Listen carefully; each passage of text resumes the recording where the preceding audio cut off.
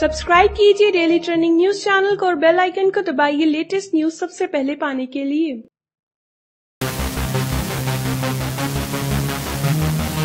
पिछले कुछ दिनों से श्रीकांत और करणवीर बोहरा के बीच में खींचतान जारी है। उन दोनों के बीच चल रही ये गोल्ड वॉर हर किसी को परेशान कर रही है। और अपने बीच चल रही इस गोल्ड वॉर से वो दोनों भी परेशान हैं। इसलिए फाइनली केवी ने सोचा कि इन सबको खत्म किया जाए। इसलिए वो श्रीसंत के पास गए और उनसे कहा कि श्रीसंत मैं बाहर वेट कर रहा हूँ। गाड़ी मेरे आने आपसे बात करनी है। आ जाना।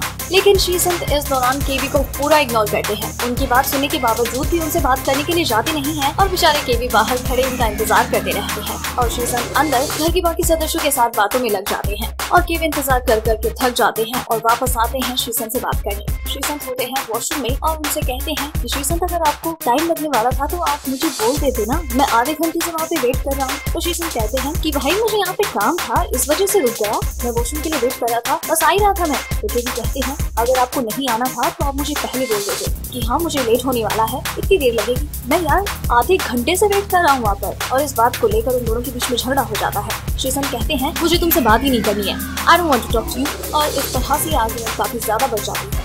बिग बॉस बारह से जुड़ी ऐसी ही कॉन्ट्रोवर्सीज लड़ाई झगड़े, हँसी मज़ाक, मौज मस्ती और बिग बॉस हाउस से जुड़ी और भी कई खबरों के लिए बने रहे हमारे साथ, क्योंकि आपको बिग बॉस बारह से जुड़ी हर लेटेस्ट अपडेट सबसे पहले यही मिलेगी। अगर आपको हमारी ये स्टोरी पसंद आई तो इसे लाइक करें और अपने व्यूज़ हमें कमेंट करके ज़रूर बताएँ।